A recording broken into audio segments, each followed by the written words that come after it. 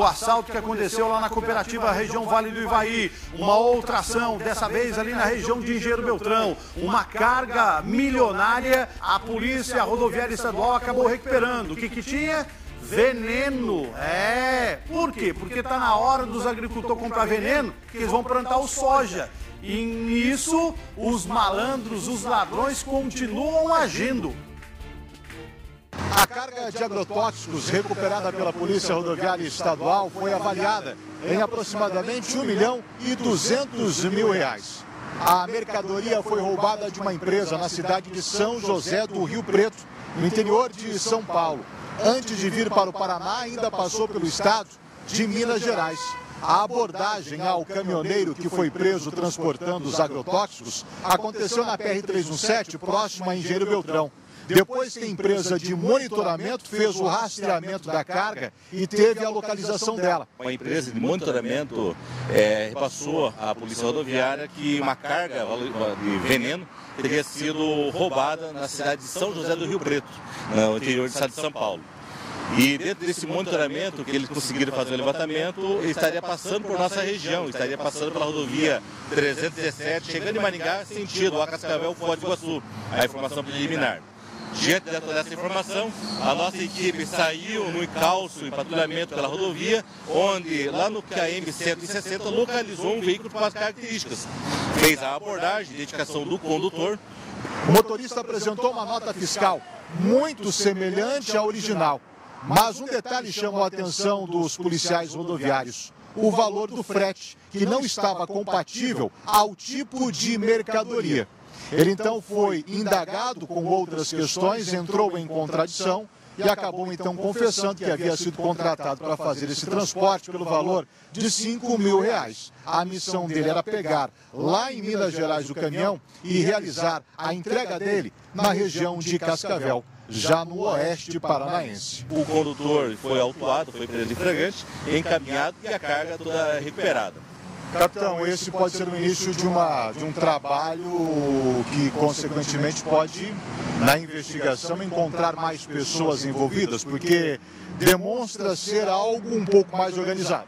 Sim, com certeza. É, é, pela conduta, até pelo fato de como saiu de lá, o método de saído, correndo em outro estado, vir para o nosso estado, então isso demonstra. E, e até pelo fato de outros casos que estão acontecendo no nosso estado, que mais ou menos são similares. Então acreditamos que pode haver uma quadrilha ela, grande envolvida nessa questão.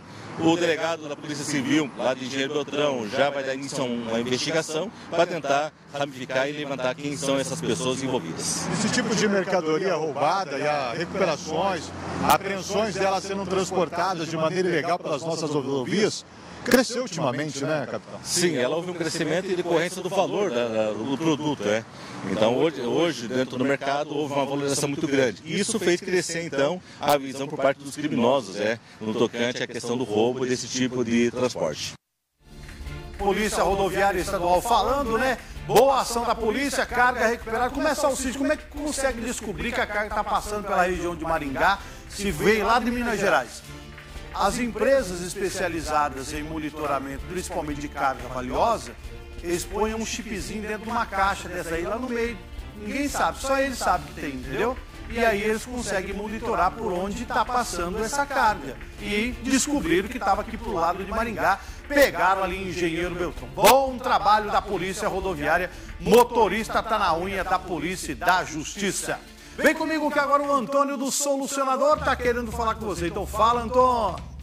Boa tarde, Salsicha. Boa tarde a todos. Você que está me vendo agora nesse horário do almoço, quarta-feira, meio de semana, estamos prestes a terminar o mês de setembro e ainda dá tempo de você começar o mês de outubro tendo as suas dívidas renegociadas pela nossa equipe de especialistas. Então, você que está me vendo agora no horário do almoço, pegue o seu celular, deixe o seu joinha para nós no 4499166 324. Nesse momento, uma equipe de mais de 40 pessoas aguardando o seu joinha para esclarecer as suas dúvidas a respeito das suas dívidas do seu cheque especial, empréstimo bancário e financiamento de veículos. Se você tem algumas dessas dívidas, entre em contato, bate um papo lá com a nossa equipe. Eu tenho certeza que você vai se surpreender quando ficar sabendo quanto estão cobrando a mais nas suas dívidas e o quanto é, é justo que você pague de uma, de uma maneira reduzida. Então, então vamos lá e deixe seu joinha para nós, mas tem que ser agora, durante o balanço geral, para garantir análise gratuita no 99166-3241. 99166-3241. Salsicha. Fale você também com o Solução.